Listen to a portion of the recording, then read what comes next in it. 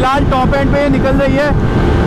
Hello guys welcome back to the KC vlogs welcome back to the channel यहाँ पे देख सकते हो बहुत ही धमाकेदार वीडियो आप लोग के लिए लेके आए हैं। एकदम लेटेस्ट यहाँ पे खड़ी है करिज्मा एक्जेमार और यहाँ पे खड़ी है Yamaha R one five S तो यहाँ पे इन दोनों का हम लोग एक परफॉर्मेंस टेस्ट करने वाले हैं।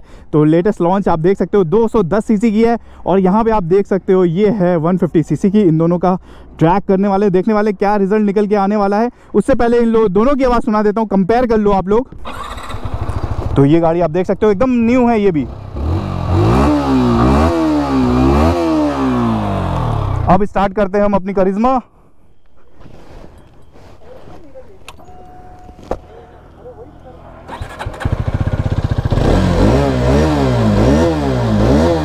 दोनों की आवाज़ एकदम सेम लग रही है। यहाँ पे दो तीन चीज़ें यहाँ पे आपको अलग देखने को मिलेंगी। ये जो है एस है, ये है D C dual overhead cams इसकी वजह से गाड़ी का जो पावर है, ज़्यादा देखने को मिलता है। अगर स्पेक की बात करूँ तो इसमें 25 पीएस है। इसमें आपको मिलती है 19 पीएस तो चलिए इस ड्राइव को करते हैं। हमारे साथ में प्रकाश भाई। प्रकाश भाई के साथ ये हम लोग परफॉर्मेंस करने जा रहे हैं और देखते हैं क्या रिज़ल्ट निकल के आता है। सीधे मिलते हैं आपसे परफॉर्मेंस में।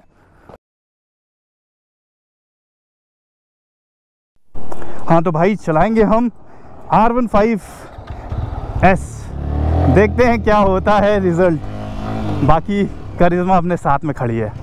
अब इन दोनों को हम लोग भगाने वाले हैं। तो पहले आर वन फाइव अपन चला रहे हैं एग्ज़ाम आर भाई चला रहे हैं प्रकाश भाई। तो देखते हैं क्या रिज़ल्ट निकल के आता है। तो तीन हॉर्न पे। तीन हॉर्न मारता हूँ मैं। हाँ आप मारेंगे चलिए ठीक है। तो हाँ निकल जाएँगे।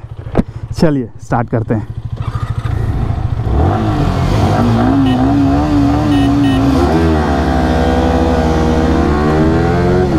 ओ भाई साहब। करिश्मा क्या निकली है भाई? कोई फ़ायदा नहीं है भाई। आरुण भाई बहुत नीचे तो रिज़ल्ट आप लोग देख सकते हो। ओ यहाँ पे करिश्मा ने मारी बाजी। अरे आरुण भाई के तो धागे खुल गए। वो देखो कितनी आगे चलते चले गए। अरे भाई साहब।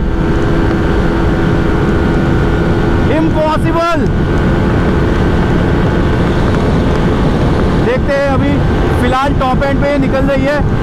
टॉप एंड 147 जा चुकी है। 148 स्टिल करिश्मा आगे है।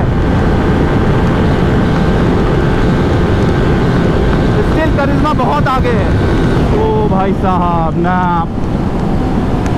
इतना लंबा भगाने के बाद भी आर वन फाइव नहीं निकल पाई। दैट मीन्स करिश्मा में बहुत ही बेहतरीन पावर दे रखी है। आप लोग को नज़र आ रहा होगा।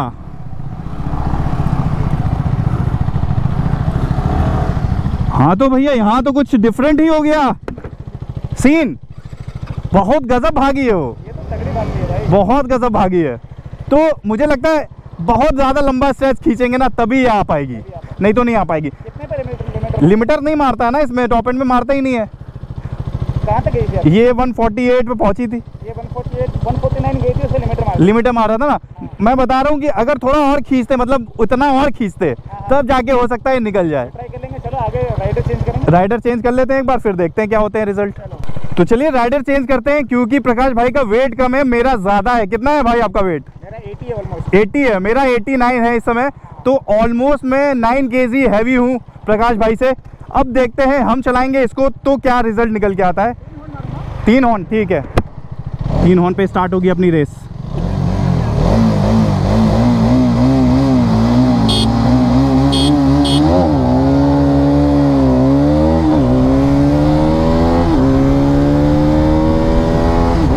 भाई साहब, करिश्मा।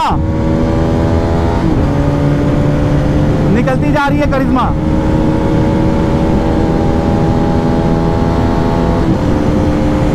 बहुत पीछे रह गई है आर वन फाइव ओ भाई साहब धमाका फेल दिया करिश्मा ने। फेल दिया। फेल दिया भाई फेल दिया। बहुत पूरा फेल दिया। लिमिटर 148 पे लिमिटर आ रहा है। 148 पे लिमिटर आ रहा है इसके।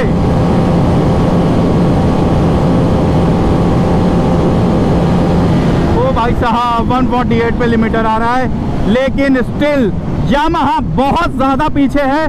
अगर मैं इस पर लिमिटर देता भी रहूँगा तो यामाहा को कम से कम दो मिनट तो लग ही जाएँगे निकलने के लिए। तो मेरे हिसाब से भाई, जानदार यहाँ पे आपको रिज़ल्ट देखने को मिल रहे हैं। करिश्मा की तरफ़ से। और भाई, यही तो चाहिए था लोगों को। करिश्मा ने भाई, एक की तो कहानी लगा दी है। अब बचा है कौन? अब बचा है आर एस टू हंड्रेड। उसका भी हम आपके लिए जल्दी लेके आएँगे वीडियो। तो देख सकते हैं, आप लोग ने रिज़ल्ट तो बढ़िया सा देख ही लिया है। हमने भगाई इन दोनों गाड़ी को और दोनों गाड़ी अपने में ही बेस्ट है, भागी भी बढ़िया है। लेकिन यहाँ पे करिश्मा ने बहुत ही अच्छा काम किया और बहुत ही अच्छी चीज़ दिखाई अपन को।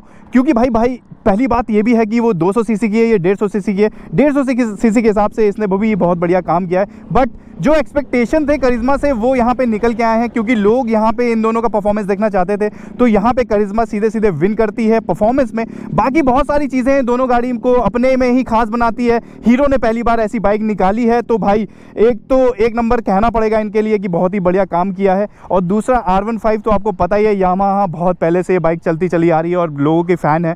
तो यहाँ पर बुरा मत मानिएगा, क्योंकि ये हमको, आपको एक सिर्फ़ परफॉर्मेंस दिखाना था, इसलिए हम लोग ने ये चीज़ क्रिएट की है।